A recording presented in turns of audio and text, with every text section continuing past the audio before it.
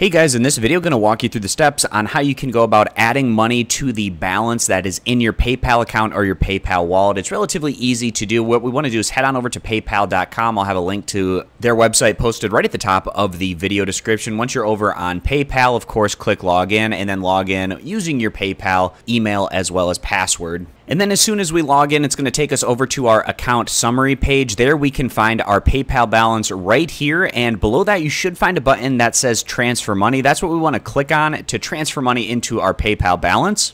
Now, to have a PayPal balance, you also need to make sure that you have a PayPal Cash account, which is really simple to set up. And I'll link another video down in the description to show you how to do that if you don't have PayPal Cash set up. And then right below that, it says transfer money. This is what we want to add money into our PayPal balance. So I'm going to go ahead and click transfer money. And then on the top, it's going to ask if you want to transfer money out. But since we want to add funds to our PayPal balance, that's going to be having money go in.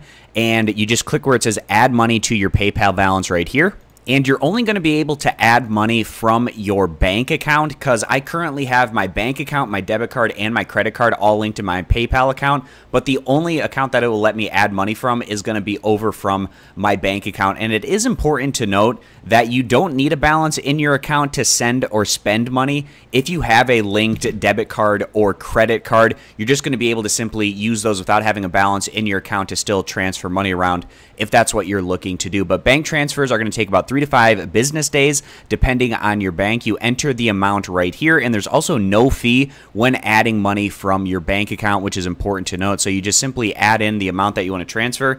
Let's say we wanted to do 100 bucks, and then you go ahead and click add. And then it's going to take you to the final page just to review what you're doing, which is you're adding however much money that you entered in, and that's going to go into your PayPal balance. And then it says, please allow three to five business days for processing. And then you just finally click add in the amount that you want to add. And then after the allotted number of business days, that money should eventually come over into your PayPal balance. So I hope this video was helpful walking you through the steps on how to add money to your PayPal balance and also just pointing out the fact that you don't need to have a balance in your PayPal account to still transfer money around or pay for things, especially if you're using a debit or credit card.